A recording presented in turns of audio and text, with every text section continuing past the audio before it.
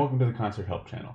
Today, we'll be covering how to set the FedRAMP or DoD data impact level for an asset within one of your cloud spaces. Bear in mind that assets cannot be deployed into a cloud space that does not support that data impact level or higher. Moreover, only cloud space administrators can set the data impact level.